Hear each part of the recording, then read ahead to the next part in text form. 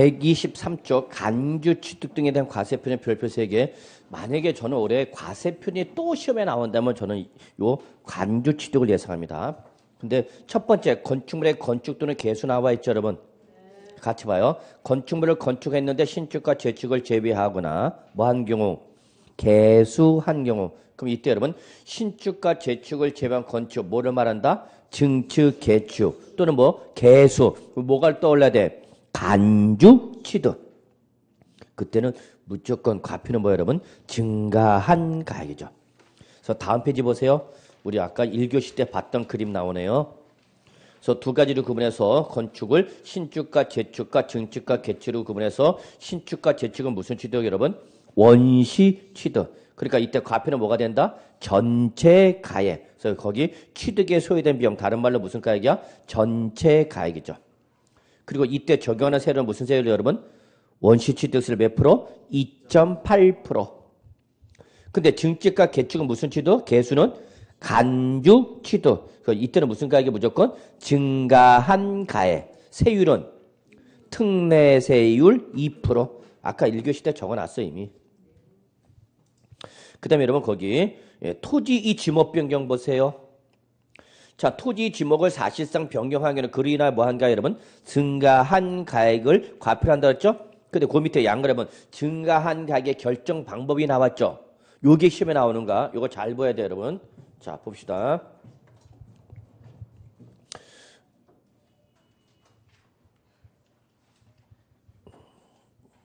자 토지의 지목 변경 으로 인하여 증가한 가액을 어떻게 결정할 거냐 그 얘기죠. 이게 뭐가 되는 거니까? 과표가 되는 거니까. 그러면 여러분 시험에서는 출전이 이렇게 토지 이 지목 변경으로 인한 증가한 가액을 어떻게 결정하냐라고 물어봤을 때는 두 가지로 구분하셔야 돼요. 뭐와 원칙과 뭐 여러분 예외로 구분하셔서 판단하셔야 됩니다.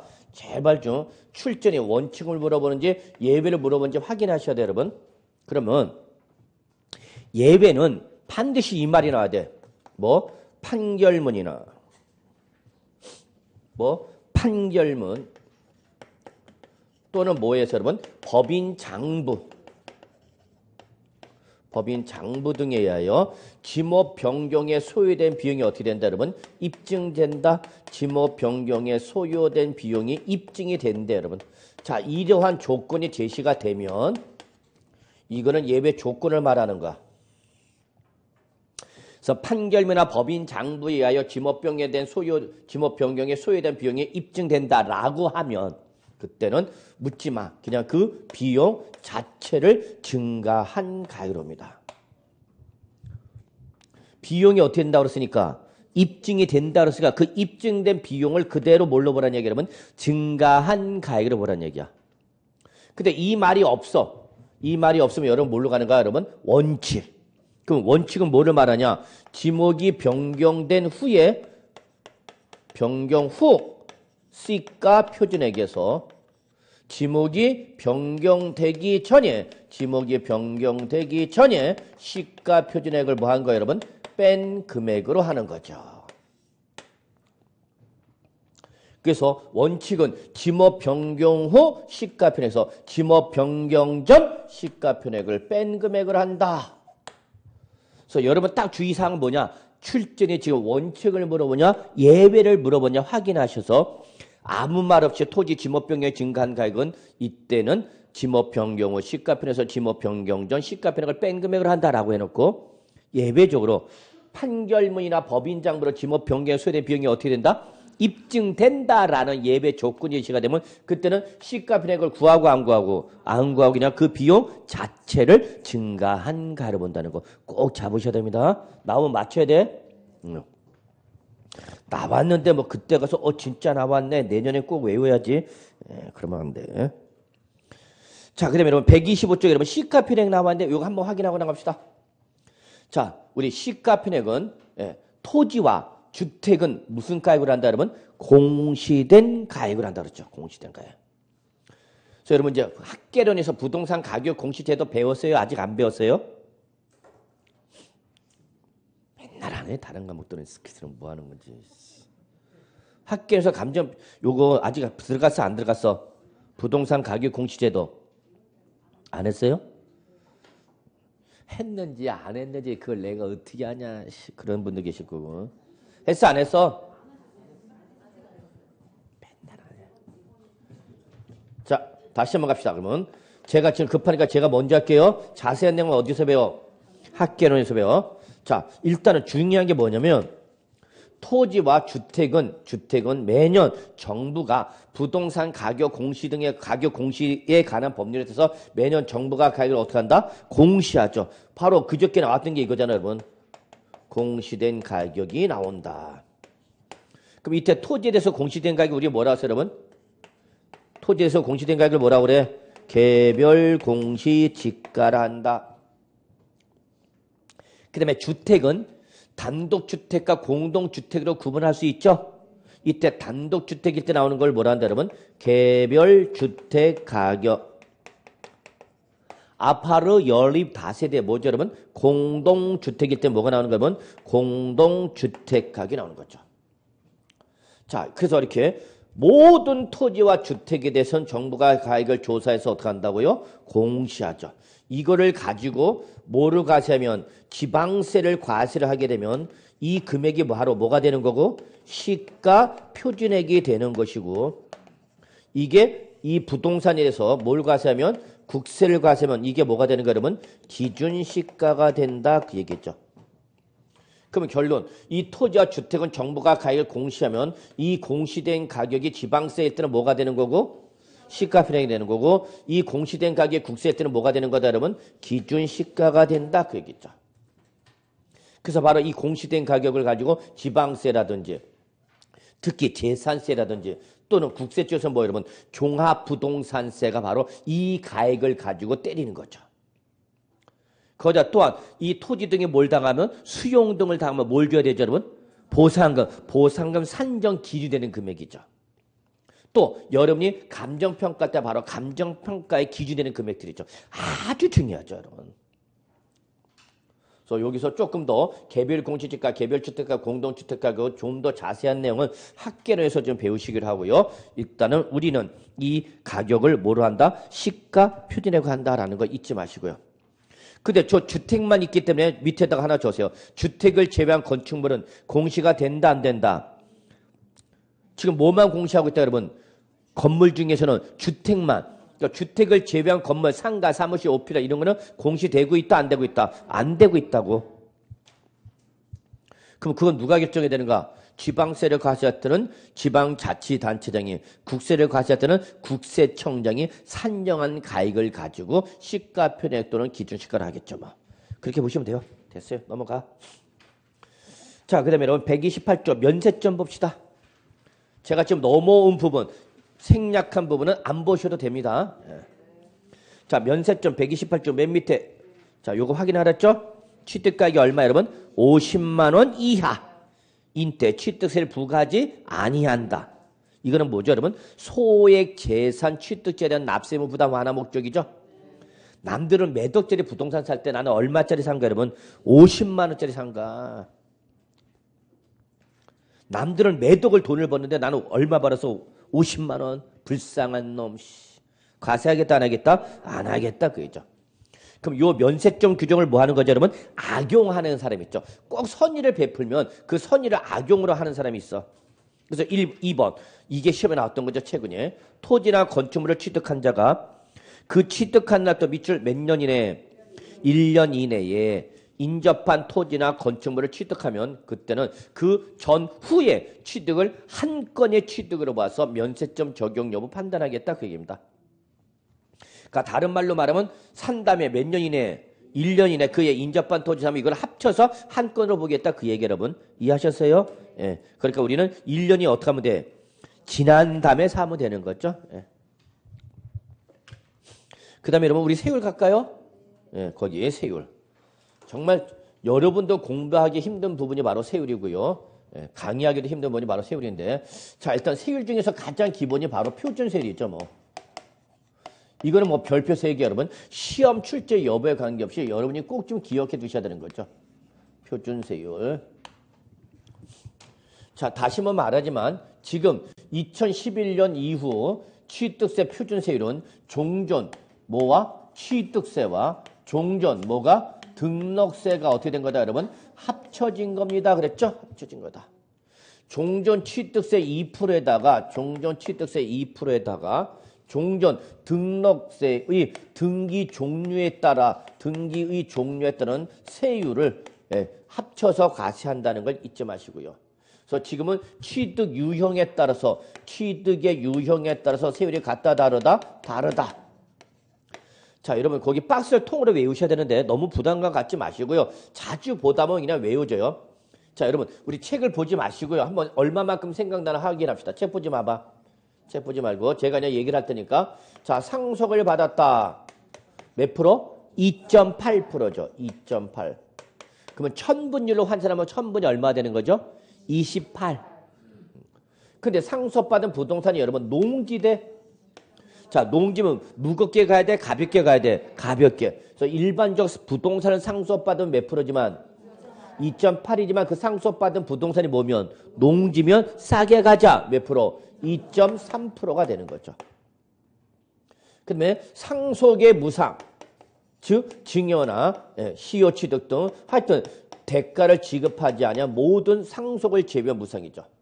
그럼 그냥 뭐 생각을 했잖아요, 여러분? 증여. 그냥 증여 생각하세요. 그러면 상속과 증여 비교하면 항상 어디가 더 높다? 증여. 그래서 증여일 때는 몇 프로? 3.5가 되는 거죠. 다만 비영리 사업자가 받았다 여러분. 비영리 사업자. 그럼 이거는 공익사업에 대한 세제 지원 목적상 얘보다 무겁게 가볍게 가볍게 가야 되겠죠. 그래서 어디에 맞춰준다? 상속에 맞춰주는 거죠. 그래서 몇 프로? 2.8이 되는 거죠. 진짜 중요한 건 지금이야. 아 지금 아니다. 원시치도 예. 원시 치도가 여러분 그냥 몇 프로야? 2.8이야. 예. 진짜 중요한 게 이거죠 여러분. 여러분 민법에서 배우셨던 공동소유 배우셨죠? 자, 민법상 공동소유 형태는 몇 가지가 있었죠? 세 가지. 공유, 합유, 총유. 자, 그거를 분할하는가, 분할. 분할은 뭐 하는가? 찢어지는가, 찢어지는가. 찢어져! 찢어져. 뭐 싸다! 제가 매일 듣는 소리에 집에서. 이때 공유, 합유, 총유를 합쳐서 뭐라 표현하고 여러분? 공유권. 이렇게 하고. 그걸 뭐 하는가, 여러분? 분할. 찢어지는 거죠. 또는 거기 책을 보시면 책을 봐. 잠깐 이거는 부동산 공유권 해소를 위한 뭐가 있죠, 여러분? 지분 이전. 자, 이럴 때는 여러분, 이거는 새로운 취득이 아니라 이거 의미를 이해하셔야 돼요. 공유권의 분할이라는 것은 뭐 하고 있던 거를 공동 소유하고 있던 걸 청산하고 뭐로 바꾸겠다는 얘기 여러분 단독 소유로 바꾸는 그러니까 소유권 형태의 전환이지 새로운 취득은 아니야. 그래서 이러한 공유권의 분할이나 부동 예, 고, 공동 소유 지분 해소를 위한 지분 이전, 부동산 공유 해소를 에이. 그래서 이렇게 예. 이런 분할일 때는 이때는 제일 낮은 세율 몇 프로 때리냐? 2.3% 때립니다, 여러분. 자, 그리고 진짜 중요한 건 요거죠. 자, 이거를 제외한 나머지 나머지 이게 아닌 이거를 우리는 법에서 뭐라 표현하냐? 그 밖에 원인으로 인한 취득이 일어났죠. 그 밖에 원인. 이거 꼭 적어놓으라고 했죠. 그 밖에 원인의 대표가 뭐랬어요, 여러분? 매매 등 공인중개사인 여러분이 적용하는 거죠. 이때는 응능 과세 원칙에 따라서 응능 돈 주고 산 거죠. 그러면 그만큼 경제적 능력이 있어. 세금이 제일 높죠. 몇 프로? 4% 되는 거죠. 4%. 근데 그때 매매로 취득한 부동산이 뭐면 농지면 자 무겁게 가야 돼 가볍게 가야 돼 가볍게 몇 프로 3%로 가는 거죠. 뭐 그러다 보니까 외우죠 여러분. 그러니까 너무 박스에 대한 세율을 이렇게 부담을 갖지 마시고 그냥 자주 본다 보시면 돼요 여러분. 우리가 어둠 속에서도 아저씨를 찾는 이유는 뭐죠? 자주 봐서 그런 거죠. 네, 자주 보다 보면 돼요 여러분. 자, 근데 이때 매매를 취득하는 부동산이 여러분, 매매를 취득하는 부동산이 주택이 돼, 주택. 아, 주택남 우리 민감하게 반응하셔야 돼요. 일반적 부동산보다 무겁게 가야 돼, 가볍게 가야 돼? 가볍게 가죠. 나 주택이야. 어머, 주택 나왔구나. 딱 그래야 돼. 그러면 얘는 뭘 따진다? 취득 가액이죠. 여러분 오로지 취득 가액만 묻습니다. 그래서 취득 가액이 예, 소액 1억부터 아니 죄송합니다. 6억 이하일 때는 몇 프로? 1%. 6억 초과 9억 이하의 일반 주택일 때는 2%. 9억을 초과하는 고가 주택일 때는 3%죠. 그래서 여러분 주택은 제일 높아도 몇 프로야? 3%. 그래서 1%, 2%, 3%죠. 이거는 여러분이 공인중개사가 되셔서 주택의 매매를 했을 때 적용하는 세율인데 이걸 모른다? 게임 끝난 거죠, 그러면. 우리 인간적으로 복도방은 다 되지 맙시다. 복도방은 되지 맙시다. 근데 주의사항 적어놔. 취득세에서 세율을 정할 때 우리는 취득 가액만 물어. 즉 다른 말로 말하면 주택의 소재지나 즉 이게 조정 대상적이냐 아니냐 또는 주택의 수, 너 몇 주택자야? 이런 걸 묻는다 묻지 않는다? 음, 묻지 않아. 이건 어디서 물어요? 그렇죠. 이거는 양도소득세에서 묻는 거죠. 그러니까 양도자는 너 몇 주택자야? 주택 어디 있어? 소재지를 묻지만 취득자한테는 그거를 묻지 않고 오로지 몇 억짜리야? 라고만 물어보는 거죠. 에, 중요하죠. 실무 나가면 직방이야. 양도자한테 이 주택이 어디 있는 거예요? 주택 소재지. 주택 몇 개 갖고 있어요? 수를 따져갖고 양도소득세 세율이 달라지만 그래서 그 주택이 어디에 있대 여러분? 조정 대상 지역에 있는 주택이 돼. 우리 조정 대상 지역. 우리 서울은 무슨 지역이야? 조정 대상. 하남시도 뭐야? 조정 대상 지역. 그럼 조정 대상 지역에 주택을 두 개 갖고 있어. 주택과 조합원 입주권 두개 갖고 있다. 주택 양도 몇 프로 두개 맞아? 여보세요. 조정 대상 지역에 주택과 입주권 두 개를 갖고 있다. 주택 양도 몇 프로 맞아? 주, 양도소득세 누진세에다 몇 프로 할증 가셔야죠? 10% 할증 가셔야죠. 어차피 시험은 제가 볼게요. 네, 여러분 그냥 감독관 합시다. 그냥. 어. 그 다음에 조정 대상역 내 주택과 입주권 합한 숫자가 3 이상인 상태에서 주택을 양도하면 이때는 누진세 대 몇 프로 할증 가세? 이거 엄청나게 무서운 세율금인데 여러분 큰일 났네. 근데 뭘 취득할 때는 주택을 취득할 때 취득세는 그런 거 물어 안 물어? 안 물어. 오르이 뭐만 물어? 취득하에 너 얼마짜리야? 예. 얼마짜리야? 라고 물어서 1, 2, 3 잊지 마시기 바랍니다. 근데 129쪽에 이제 주택이 개정됐죠. 이렇게 1, 2, 3가 적용된 주택이 뭐냐? 자, 같이 보죠. 129쪽 맨 밑에. 첫째 밑줄 주택법상 주택이 됩니다. 첫 번째 조건. 이때 이 주택은 주택법상 주택이 됩니다. 그러면 주택법상 주택. 그럼 주택법 제2조 1호라고 나와 있죠? 어? 주택법 제2조 1호가 뭐야, 여러분? 이씨. 주택법에서 말하는 주택이 뭐야, 여러분?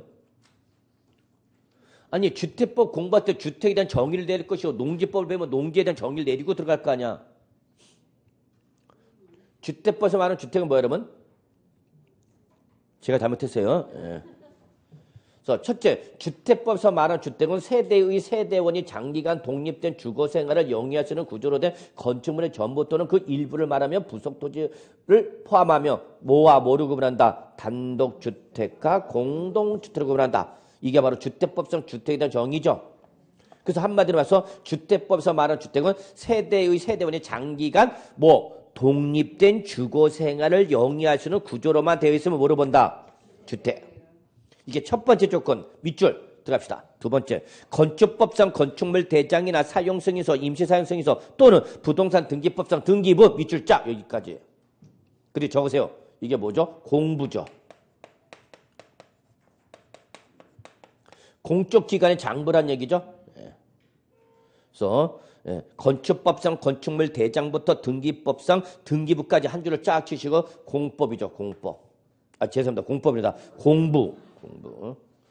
여름에 징그럽게 안 하는 공부를 말하는 게 아니라 공부상 모르나 했어야 돼. 공부상 뭐로 돼 있어야 된다고 주택으로 돼 있어야 된다고. 주택으로 기재가 돼 있어야 된다고 공부상에. 그리고 마지막 맨 마지막 네, 다음 페이지 넘어가야 되겠네요. 다음 페이지. 셋째 줄 맨 마지막 건물의 용도가 뭐로 돼 있어야 돼 그리고 실제로도 주거용으로 사용할 수 있어요. 주거용. 이게 바로 1, 2, 3이 적용되는 주택에 대한 정의입니다. 자, 그러다 보니까 작년과는 달리, 작년과는 달리 올해 개정 대비표 나와 있죠? 응? 개정 대표 보세요. 그래서 작년까지 주택에서 제외했던 윗줄 가정 어린이집이라든지 또는 예, 공동생활 가정이나 지역 아동센터라든지 또는 노인복지법상 노인복지시설로서 주거용 사용하는 시설 이런 것들은 주택에서 어떻게 했지만 제외됐지만 올해는 어떻게 됐어 다 삭제돼 버렸죠. 그럼 결론 거기 나와 있는 건 이제 주택으로 본다 안 본다. 응? 다시 한번 가정 어린이집 공동생활 가정이나 지역 아동센터 노인 복지 시설 주거용 시설 주택으로 본다고 안 본다고 올해부터 본다고 본다고 작년까지 주택을 봤는데 안 봤는데 안 봤는데 이제 지워버렸잖아. 삭제됐잖아. 제외 대상에서 제외해버렸잖아. 그럼 제외 대상 제외해서 뭐로 되는가? 포함 대상으로 바뀌었다 그 얘기 여러분. 그래서 올해부터는 가정 어린이집을 주택을 취득해도 1% 2% 3% 적용받을 수 있다는 얘기 없다는 얘기야? 있다는 얘기야. 작년까지는 가정 어린이집을 주택을 취득하면 주택을 받다고 안 받다고? 안 받다고 4% 내렸다고. 근데 올해부터는 주택을 인정해 주겠다고. 이해하셨어요? 응? 예. 자, 그 다음에 여러분 농지 거기 별표 하나만. 자, 이때 상속을 받았을 때와 매매일 때 저율 과세가 되는 농지의 조건이 있죠. 지금은 주택에 대한 조건을 받고요. 지금은 농지 조건 봅시다. 농지는 첫째, 공부상 지목이 조건이 있고요. 여러분. 공부상 지목 조건이 있고요. 그리고 실제로도 실제 조건도 있습니다. 두 가지 모두 충족해야 됩니다. 그러면 첫째 우리 책에 보시면 여러분 거기 130쪽 동그라미 1번에 보시면 일단 공부상 지목은 뭐 해야 되느냐? 전, 답, 과수원이 됩니다. 자 그리고 그 다음에 밑에 2번 전답, 과수원 물론 뭐까지 인정해 주죠? 목장용지까지. 그래서 일단 공부상 지목이 여러분 전답 과수원이나 목장용지 이어야 합니다. 지목이. 그리고 실제로도 실제로도 이 전답 과수원은 뭘로 사용해야 되는 거죠, 여러분? 농작물의 경작이나 뭐 단연생 식물 재배지로 이용돼야 되죠. 단연생 단연생 식물 재배지로 이용이 돼야 되는 토지죠.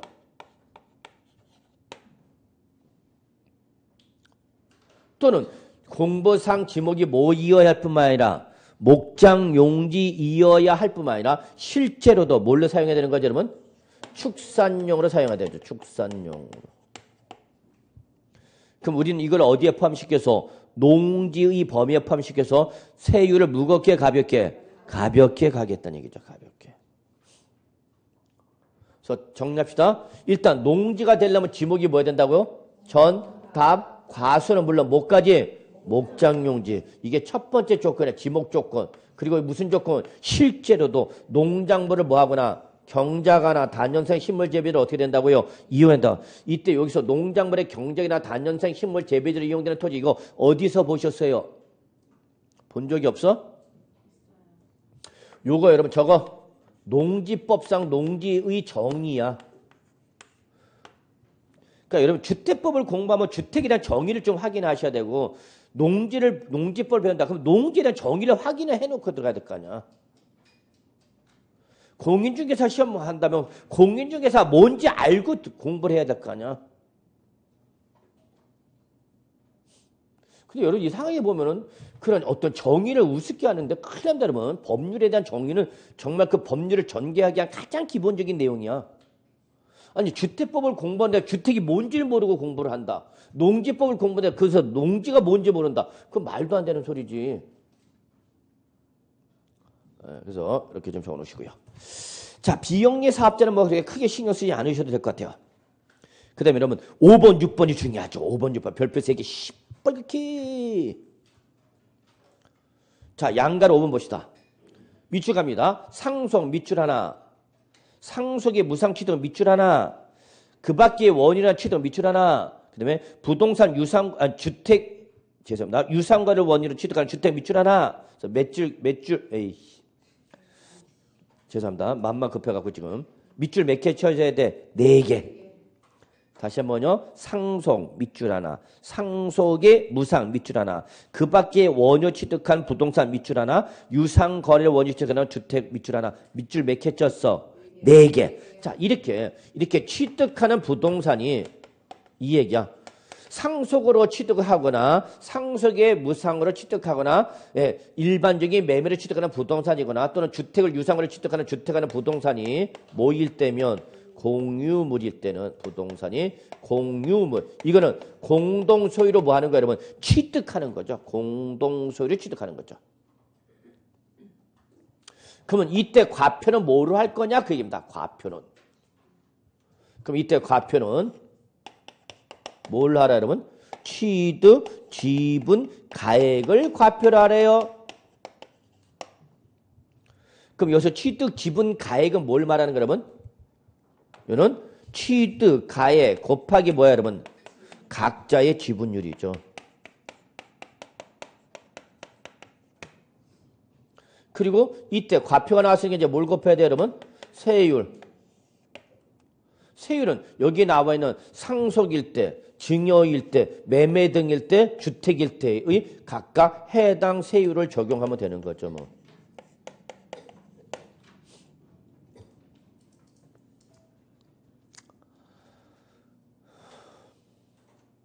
그래서 각각의 세율을 예, 해당 세율이 아니라 각각의 세율로 합시다. 법대로 갑시다.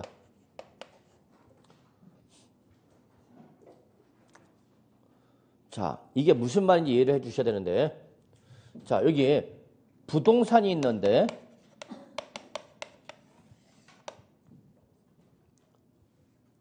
요거를 매매를 취득해서 매매 얼마짜리냐? 10억짜리야. 근데 요거를 갑과 을이 갑과 을이 60%와 40%로 공동 소유 취득했다 그 얘기야. 그럼 이때 취득세 납세문자 누구냐 그 얘기야. 자 부동산을 뭐를 취득했다고요? 매매 얼마짜리? 10억. 근데 이거를 한 사람의 명의로 취득한 것이 아니라 몇 명이? 두 명, 갑과 을이 몇 프로? 60%와 40% 뭘로 취득했다고요? 공동 소유 취득했답니다.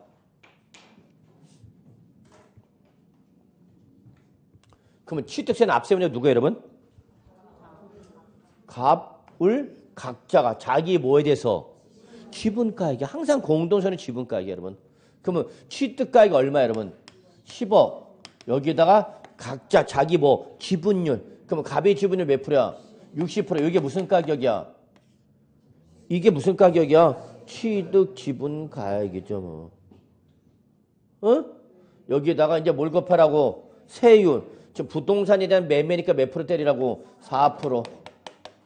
그럼 이게 바로 갑이 내야 되는 뭐가 되는가? 취득세가 되는 거죠. 그럼 을은 역시 10억 곱하기 자기 지분이 몇 프로? 40% 이게 무슨 가격? 취득 지분가의 과표가 되고 여기다 뭘 곱하라고? 세율 몇 프로? 4% 계산해 주세요.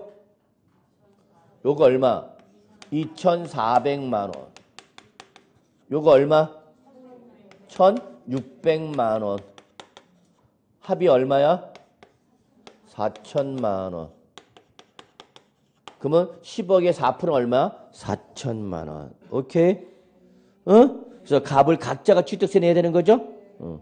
근데 이게 만약에 주택이다 봅시다. 이게 뭐라고? 주택. 주택을 갑과 을이 60% 40%뭐 했어요? 여러분? 공동 소유 취득했다 봅시다. 똑같아. 다만 부동산이 뭐로 바뀌었을 뿐이야? 주택으로 바뀌었을 뿐이죠. 이거를 누가? 갑과 을이 60% 40% 공동 소유 취득한 거죠. 그럼 취득세는 앞세면 누가 되는가? 갑, 을. 주택일 때죠. 그럼 주택에 대한 취득세 얼마 내야 되냐? 그 얘기죠. 자, 갑, 취득가 얼마? 10억 곱하기 자기 뭐 지분율, 지분율 몇 프로? 60%. 자, 이때 적용하는 세율은 몇 프로야? 자, 그 다음에 여기 을 갑시다. 을 취득 지분가액 얼마? 10억 곱하기 자기 지분을 몇 프로? 40% 얼마 취득 지분가액? 4억. 자, 이때 이제 세율 곱해야 되겠죠? 이때 세율을 몇 프로야? 응? 3%야 6억 이하인 1%야.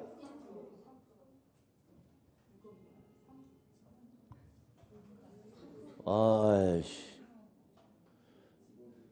그래서 물어본 거야, 여러분한테. 뭔가 차이가 감을 여러분 답을 모를 때는 찍을 줄 알아야 되는 거죠. 찍는 것도 진정한 실력인 거야, 여러분. 찍는데 그냥 찍는 게 아니라 내가 합리적으로 유출을 하셔야 되겠지. 그럼 굳이 제가 매매를 했는데 주택으로 따로 끄집어내서 그럼 분명히 얘하고 뭔가 다르겠다라는 걸 느껴야지. 눈치도 없냐, 이씨. 아저씨가 저녁에 왔고 나 아직 밥 안 먹었어. 그래서 배를 문지르고 있어. 그럼 아저씨가 무슨 시그널을 보내는가? 밥 좀 주세요. 그 얘기죠? 아, 참네. 가. 여기 몇 프로 때려야 돼? 1%죠? 응? 그러면 돼? 안 된단 말이면 얼마짜리 샀어? 그럼 15억짜리 살때저 주택 취득세 몇 프로 냈어? 3%였죠, 3%. 취득짜리가 10억 주고 산 거 아니야? 안분 가격은 6억, 4억 원이지만 취득 자체는 얼마짜리야? 10억짜리 샀잖아. 그러니까 적용하는 세율은 3%가 되는 거야, 3%. 이해하셨어요? 1% 끊으면 큰일 나는가? 취득세 과소 신고 납부가 돼갖고 나머지 2%된 취득세 추징이 들어오면서 뭐가 또 얹어와? 가산세 쫓아온단 여러분. 그래서 여기는 몇 프로야? 3%야, 3%. 왜? 취득 가격이 얼마니까? 10억이니까 10억이 안 되겠죠. 그럼 여기는 얼마야? 1,800만 원. 여기는 1,200만 원? 예. 그러면 합은 얼마야? 3천만 원. 아까 부동산이면 얼마였는데? 예, 그러니까 주택이니까 세율이 어떻게 있어? 낮아졌죠. 자, 봐. 이걸 1% 하면 여러분 큰일 나는 거야. 왜냐? 한 사람이 사면은 몇 프로고? 3%고 두 사람이 사면 1%가 적용되면 이게 똑같은 주택 10억짜리인데 한 사람 면허 살 때와 두 사람 면허 살 때 취득 세율이 달라지면 돼야 안 돼? 안 되죠. 그래서 과표는 무슨 가액이지만 취득 지분 가액이지만 세율은 취득 지분 가액을 가지고 주택에 대한 세율을 적용하는 것이 아니라 뭐 갖고 총액에 대한 주택세를 적용하는 거 여러분 이해하셨죠? 네, 꼭 주의하시고요. 자, 6번 아주 또 만만치 않게 중요한 거죠. 자, 증축으로서 어, 증축 개축 또는 개수 나와있죠 여러분 양거리 6번 별표 3개 표시해놨어요. 자, 같이 합시다. 신축과 재축을 제외한 건축 밑줄자 뭐랬어? 증축, 개축. 다시 개수 밑줄자. 그리고 건축물 면적이 어떻게 여러분? 증가. 그러면 이때는 그 건축물의 취득은 무슨 취득으로 봐서 간주 취득이죠. 왜? 신축과 재축을 제외한 증축, 개축 또는 뭐니까 개수니까 무슨 취득? 간주 취득. 간주 취득이 때문에 가표는 무조건 무슨 가액이야? 동그라미 증가한 가액이죠. 증가한 가액. 그래서 어떤 세율 적용하라고요? 밑줄 원시 취득세를 몇 프로? 2.8% 이거 절대 놓치면 안 돼. 자, 그 다음에 탄력세를 갑시다. 별표 하나? 탄력세 뭐 중요한 내용은 아니야, 이제. 그래서 지방자치단체장은 조례로 정하는 바에 따라서 표준세를 몇 프로 범위에서 50% 범위에서 뭐 할 수 있다? 가감할 수 있다. 갑시다. 자, 중과세를 갑시다. 아, 여기는 안 넣기를 바라는데, 개인적으로는 나왔을 때에 맞출 가능성보다는 틀릴 가능성이 엄청 높죠. 그래서 저도 여러분 100일 들어가면은 예, 기도 들어갑니다. 내지 말라고. 일단 기본적인 내용 좀 확인합시다. 자, 취득세 중과세는 몇 가지가 있냐? 세 가지가 있습니다. 세 가지. 첫째, 표준세율에다가 우리가 지금 했던 요 표준세율에다가 자, 여기는 문구가 잘 봐야 돼. 무슨 세율 여러분? 중과 기준 세율. 이거 놓치면 안 되죠. 자, 거기 박스 밑에 나와 있죠? 중과 기준 세율이라 나와 있어? 몇 프로를 말해 결론? 2%. 중과 기준 세율. 자, 100분이 얼마? 100분이 얼마? 400. 어디 봐? 중과 세율 봐야지. 응? 아니 지금 어디 보고 있지? 131쪽 밑에 중과세율 박스 보고 있다고. 그래서 표준세에다가 중과 기준세율의 100분이 얼마? 400을 표준세에다 어떡하라고? 더하라고 더하라고. 그럼 이때 중과 기준세는 몇 프로 말한다고요? 중과 기준세 몇 프로 말한다고요? 2%. 2%의 100분의 400은 몇 배야? 4배죠. 4배. 그럼 결국 2%의 4배니까 몇 프로를 말하는가? 8%를 어디다가 표준세에다가 더하세요. 그 얘기죠. 더하세요. 이런 재산의 종류가 뭐가 있는가 여러분? 거기 났죠. 사치성 재산. 우리 어떻게 외우죠? 별골 오선주. 별장이나 골프장이나 고급 오락장이나 고급 선박, 이나 뭘 취득하면 고급 주택을 취득할 때 이때는 남들 무슨 세를 때릴 때 표준세율 때릴 때 얘들은 몇 프로가 더 오는가? 8%가 더 오는 거죠. 무서운 거 여러분. 엄청 무서운 건데 여러분 전혀 안 무서워합니다. 그래서 이렇게 표준세대에다가 중과기준세율 2%의 100분의 400인 4배인 8%를 더한 세로 가자는 건 무슨 재산이다? 사치성 재산 어떻게 보면 별골 오손주 꼭 기억두셔야죠. 자, 그 다음에 또 하나가 있네 여러분. 표준세대에다가 중과기준세율에 자 여기는 100분이 얼마 여러분? 100분이 얼마? 2배. 그러면 2%의 100분의 2배. 그럼 요거 100분의 200은 몇 배를 말하는 거고? 2배. 몇 프로에? 2%의 2배니까 몇 프로야? 4%를 어디다가 표준세에다가 어떻게 하세요? 더하세요. 그죠? 더하세요.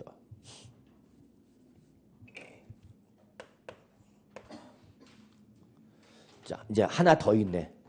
자, 요거는 표준세에다 먼저 100분이 얼마를 곱한 다음에 100분의 몇? 3배. 즉 표준세에다 일단 몇 배를 먼저 곱해서 3배를 먼저 곱했죠. 그러니까 앞에 숫자가 커졌죠. 무려 몇 배를 곱해서 세배 표준세 세배를 곱했잖아. 그 앞에 숫자가 너무 커졌죠. 그러니까 이때는 이 여기서 중과 기준세 100분의 예, 중과 기준세의 100분의 200이 몇 프로를 4%를 자 여기는 더하라고 빼라고 빼라고 빼라고 빼라고 그럼 잘 보세요. 여기는 뭐고 더하기 더하기 여기는 빼기 왜 앞에 숫자가 너무 커졌으니까 앞에 숫자가 세배를 커졌으니까 이때는 빼란 얘기죠. 4%를 그래서 여기는 반드시 여러분 과밀 억제 권역이란 말이 나와요. 여기는 과밀 억제 권역. 이거를 가지고 여러분 예, 중과세를 구분하셔야 돼요. 여기는 뭐로 나오냐? 여기는 대도시란 말이 나옵니다. 여기는 대도시야. 그래서 이거를 가지고 구분한다라는 것만 좀 봐두시고요. 자, 이 중에서 우리 사치성 재산을 꼭 알아야 돼요. 다섯 가지. 별장, 골프장, 고로장, 고급선박, 고급주택. 이때 별장은 별표 하나 치라고 그랬죠? 그 대신 고급주택은 여러분 별표 두 개야. 여러분이 공인중개사로서 중개한 주택이 취득세 중과 대상이 고급주택인지 여러분이 알아서 판단해 줘야 되는 거죠. 자, 그러면 예, 우리 어디 보시냐? 132쪽 봅시다. 132쪽. 자, 별장 한번 잠깐 볼까요? 저는 정말 돈 벌면요. 제일 먼저 사고 싶은 게 별장이에요. 제 사무실 하나 내고 싶어. 공간. 그래서 저만의 공간이죠. 얼마나 좋을까. 집에서 나가! 그러면 예써! 하고 딱 언제든지 나올 수 있는 거죠. 별장만 있으면. 씨. 그럼 이제 무서운 게 없는 거죠. 자, 사치성 계산이야 필수제야? 저는 필수제로 봅니다. 별장 사치성 계산 아닙니다. 그래서 여러분도 별장, 여러분도 생각해봐. 조금 여유만 있다면 뭐 하나 사, 어, 뭐 하나 있는 거. 별장 있는 거 하나 나쁘지 않잖아. 우리 인간답게 삽시다. 그래서 저쪽 뭐 양평이나 양양 이런 데다가 여러분 뭐 조그만 별장 하나 정도 설치하는 것도 괜찮죠. 자, 그럼 우리 세법은 뭐로 본다고요? 사치성 재산. 근데 주의해야 됩니다. 이때에, 이때에 별장이나 주거용도 주거 생활을 영위할 수 있는 구조로 되어 있는 건 맞죠? 그러니까 주택에 포함하는가 제외하는가? 어? 아니야 주택에 포함해야 된단 말이야. 우리 아까 주택이라 하면 주택이라면 첫째 무슨 조건이죠? 주택법상 주택이 된다고 그랬죠? 그다음에 건축법상 예, 건축물 관리 대장이라든지 또는 등기부상에 뭐로 기재가 돼 있어야 되고요? 주택으로 기재되고 그리고 마지막 세 번째 사실상 뭘로 사용해야 돼? 주거용. 그럼 뭐로 본다? 주택으로 본다 그랬죠. 그러면 이때 별장이나 주, 고급 주택도 주거 생활을 영위해서는 구조로 되어 있어 안 돼서 되어 있잖아 여러분. 그러니까 별장이나 고급 주택도 뭐로 본다? 주택보다. 그러면 별장이나 고급 주택을 사면은 1%, 2%, 3% 적용한다, 4% 적용한다. 별장이나 고급 주택을 취득하면 표준세를 적용할 때 주택 취득세율 1, 2, 3% 적용하는가? 매매일 때 4% 적용하는가? 뭐로 버렸어? 주택. 그러니까 1, 2, 3을 적용하는 거야. 1, 2, 3. 여기다 몇 프로 더하라고? 1, 2, 3에다 몇 프로 더하라고? 8%를 더하라고. 8%. 어허 이거 큰일 났네. 다시. 제가 여러분 별장을 매매를 취득했어요. 근데 그게 얼마짜리냐? 8억짜리야. 8억짜리. 그럼 이때 적용하는 취득세는 몇 프로야? 오늘 집에 안 갈쳐?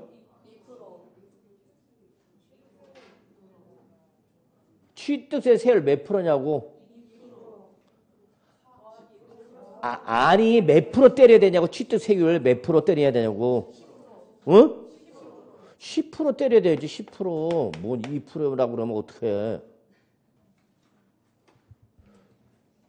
일단은 8억 원. 주택이 별장도 물어보랬어. 주택 주택. 얼마짜리 샀다고? 8억. 그럼 저기서 1, 2, 3몇 프로 때리는가?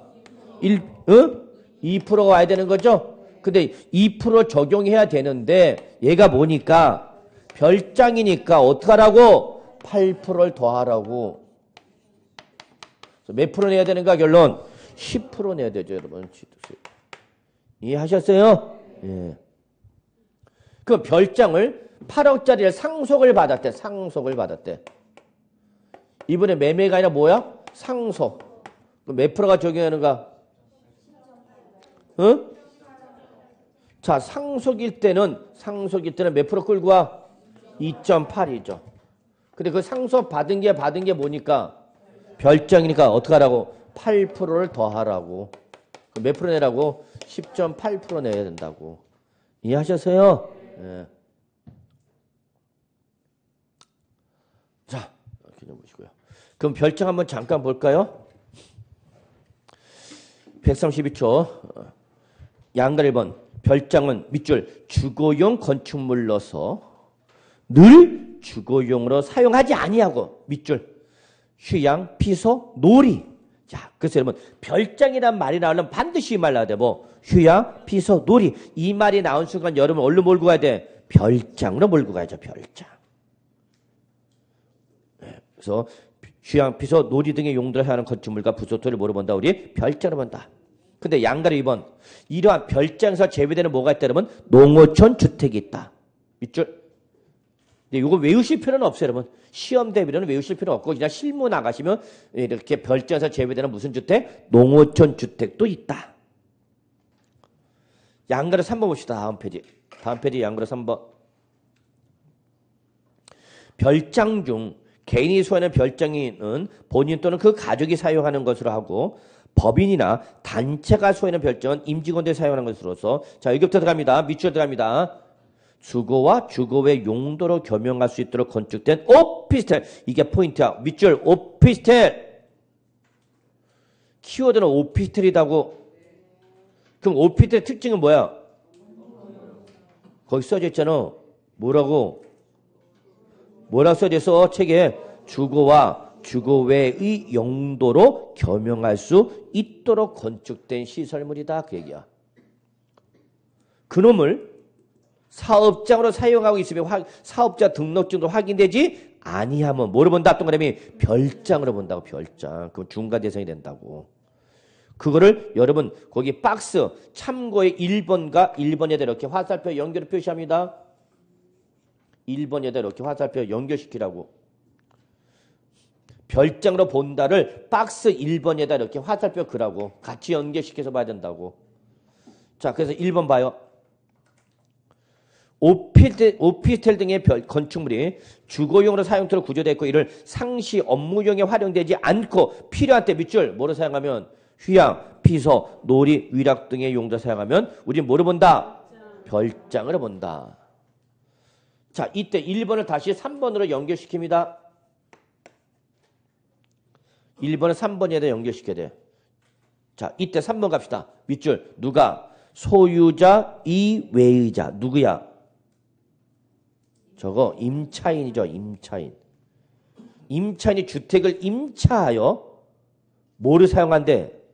별장으로 한대. 임대 들어온 임차 들어온 임차인이 별장으로 사용한대. 환장하는 거죠. 그럼 지가 집을 사든지 뭐 들어놓고 임차 들어놓고 뭐로 사용한다는 얘기야? 별장으로 사용한다는 얘기야. 그럼 우리는 중과세 한다 안 한다? 한다고 한다고.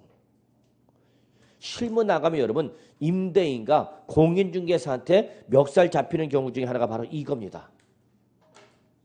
임대는 뭘로 임대 줬는데 사업장으로 임대 줬다고 사업장. 근데 임대인이 뭐 해놓 임차인이 뭐 하는가? 전입 신고해 놓고 뭐를 사용하는가? 주거용으로 사용하는 거죠. 근데 주거용도 상시 주거용이 아니라 뭘로? 주말이나 휴가 시즌 이런 때만 와서 틈틈이 쓰는 거죠. 그럼 우리 뭐로 본다고요? 별장으로 보는 겁니다. 그러면 몇 프로 또 때려야 돼? 몇 프로 더 때려야 돼? 8%더 때려야죠. 8%를. 누구한테? 임대인한테? 임차인한테? 응? 지금 별장을 쓰는 건 누군데? 근데 임차인이 별장 사는데 임대인한테 때린다고? 그래, 임대인한테 때린다고. 임차인은 임차 들어온 사람한테 무슨 세금을 때려? 그래서 8%를 누구한테 때린다고? 임대인한테 때린다는 게 임대. 그 임대 뒤집어져 안 뒤집어져?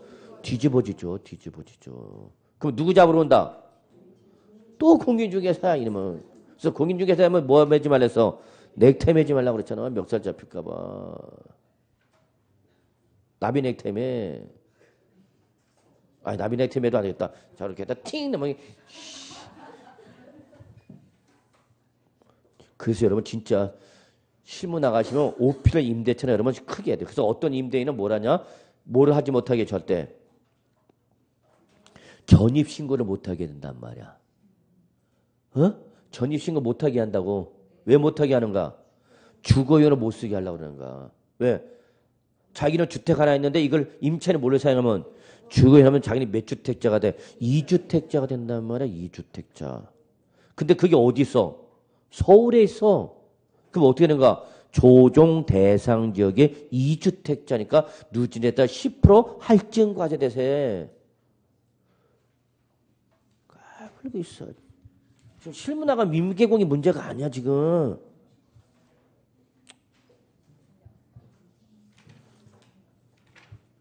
그래서 실전 세법을 다시 들어야 돼 안 들어야 돼? 들어야 돼 여러분. 진짜 여러분. 자, 그래서 여러분 꼭 좀 연결시키고요. 자, 양가로 4번 봅시다. 별장에 부속된 토지 경계가 명확하지 않다. 아이씨, 환장한다. 밑줄. 그러면 어디까지를 경, 그 별장의 부속 토지를 봐야 될지 애매하다는 얘기야. 그럼 어떻게 할 거냐는 얘기야. 밑줄. 건축물 바닥 면적이 무조건 몇 배? 10배. 자, 근데 여러분 이거를 별, 요거는 별장만 적용하는 것이 아니라 이에다 적어 별장에다가 별장 물론 고급 오락장 고급 주택 부속 토지의 판정입니다. 요거를 좀 제목을 붙여주시면요 한꺼번에 정리가 될 것 같아. 거기는 지금 뭐만 나왔지만 별장만 나왔지만 요 규정은 별장은 물론이고 어디 고급 오락장과 고급 주택에 동일하게 적용되는 부속토지 판정 규정이다고. 그럼 얘들 어떻게 판단하냐? 그 토지에 대한 어떤 경계가 경계가 분명하냐 분명하지 아니하냐에 따라서 분명하다 그러면 그 경계 내의 토지를 부속 토지로 보면 되는가? 경계 내의 이 부속 토지를 그런데 경계가 불분명하대 분명하지 않대. 그럼 어디까지를 별장 부속 토지로 볼 거냐는 얘기죠. 별장 부속 토지 보면 뭐가 되는 거고 중과세가 되는 거고 별장 부속 토지가 아니면은 일반 세율 대상이 되는 거죠. 뭐 무슨 말인지 이해하시죠? 그래서 어디까지 중과세 할 거냐는 얘기죠. 토지. 근데 경계가 불분명하다. 그러면 그때는 건축물 뭐에다가 바닥 면적에다가 용도 지역별 적용 배율 도시 지역 안팎 구분 이시 없이 여기는 없이야 없이 여기는 무조건 몇 배 여러분 10배야 우리가 일반적으로 용도 지역별 적용을 구할 때 도시 용 도시 지역 안에 몇 배? 다섯 배, 그 밖에 지금 열 배지만 여기는 도시, 지역, 안바 구분 없이 무조건 몇 배야? 열 배를 곱해서 여기까지를 뭐로 보는가? 부속 토지로 보는 거고. 그 범위를 벗어나는 거는 부속 토지로 보는 것이 아니죠. 자, 요거 같이 정리합시다. 한꺼번에. 자, 그래서 여러분, 그거, 예, 133쪽에 양가로 4번 부속 토지 판정, 이건 별장은 물론 어디에도 적용한다고 여러분? 고급 오락장과 고급 주택 판정 기준과 똑같아. 예.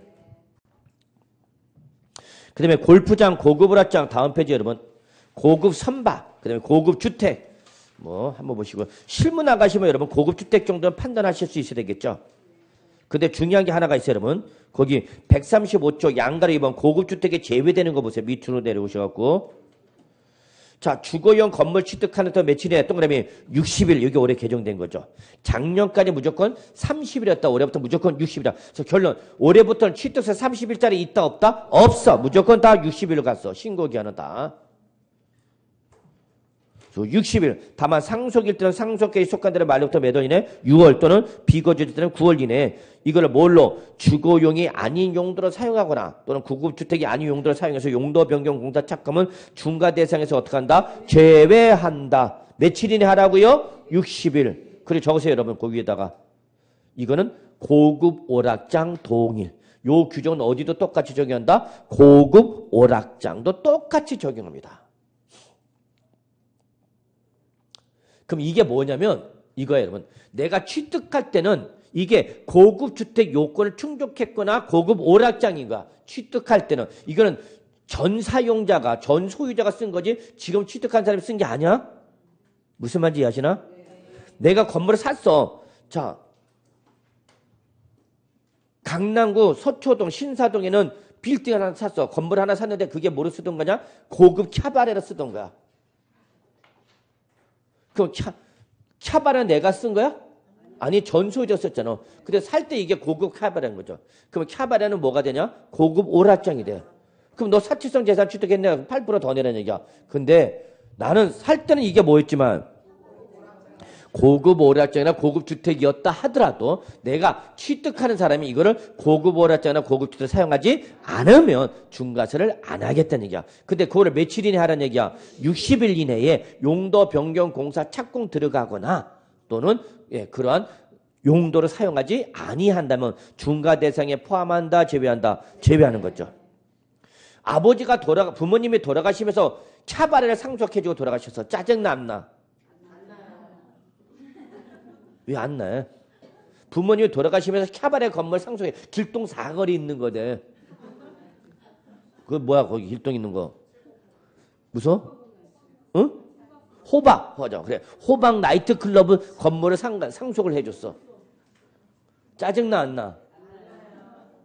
왜 안 날까? 예. 그래서 상속을 받았는데 이게 호박 나이트 클럽이야. 그럼 뭐 해당한다고 여러분? 고급 오락장. 근데 고급 오락장 내가 받는 사람이 쓴 게 아니죠. 그래서 내가 고급 오락장을 상속을 받았지만 나는 이걸 고급 오락장을 사용하지 않고 독소실을 바꾸겠대. 생각해봐 여러분. 고급 오락장에 독서실로 바꿔. 죽인다 여러분. 사이키 조명이 막 휙휙 돌아가고 막 지구가 돌아가고 막 공부 잘 되겠죠? 바닥은 또 플로어로 돼 있을 거 아니야. 빠빠빠 그래가면서 그러면 취득할 때에 취득할 때에는 고급 오락장이었다 하더라도 취득한 이후에 고급 오락장 사용하지 않으면 결론 냅시다. 중과한다 안 한다? 안 한다. 며칠 이내? 어, 60일. 다시 한번 마무리할게요. 올해 이제 취득세 30일짜리 없어. 어, 주의하시길. 됐어 여러분. 그 정도 일단 잡아놓고요. 그 다음에 여러분 136쪽, 137쪽은 들어가지 마. 다음에 할 때 한번 우리 한다면 시험에 나오, 나오면 어떤 게 나올 건가 한번 확인해 드릴 테고요. 실제 시험에 여러분 139쪽이 나오기도 했어. 139쪽 한번 보세요. 중과 제외 업종을 물어봤어 시험에. 그래서 여러분 거기 박스에 나와 있죠? 제외되는 업종이 한두 개가 아니에요. 다음 페이지까지 보세요. 34가지가 있어요. 이걸 물어보면 저희가 맞춰요 못 맞춰요? 못 맞춰요. 여기서 물어봤어요. 몇 번이 시험에 나왔냐? 최근에 23번이 나왔어요. 할부 금융업. 그리고 이거 사면은 취득세 중과할게 말게 이렇게 물어봤죠. 예, 그럼 이건 출전에 의도는 딱 하나야. 맞춰라 맞추지 마라.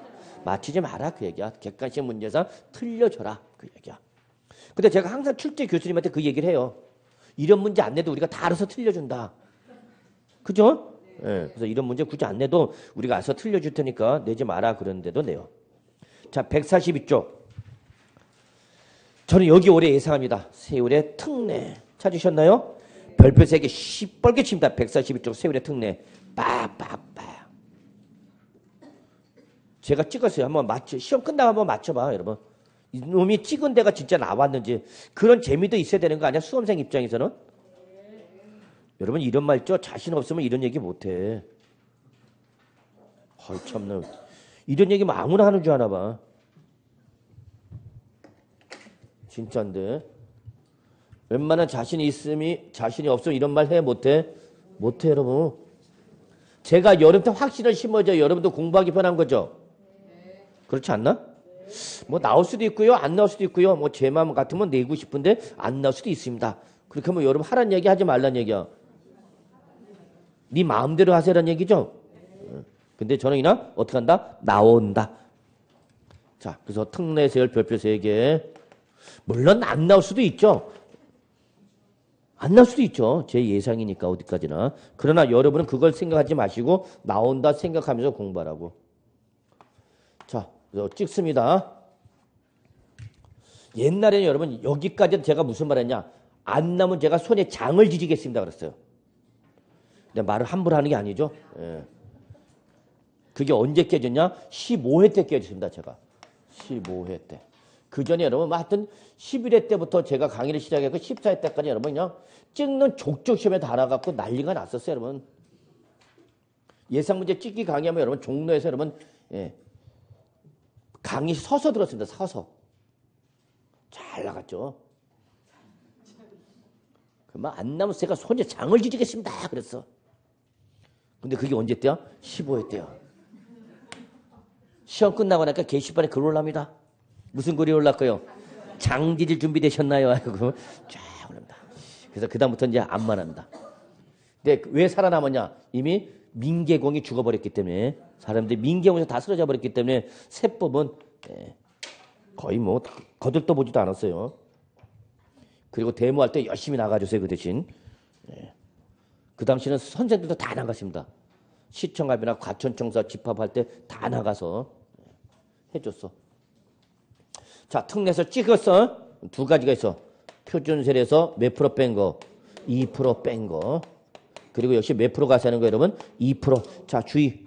요때 요 2%를 다시 한번 지방세법에서 뭐라 표현한다 여러분?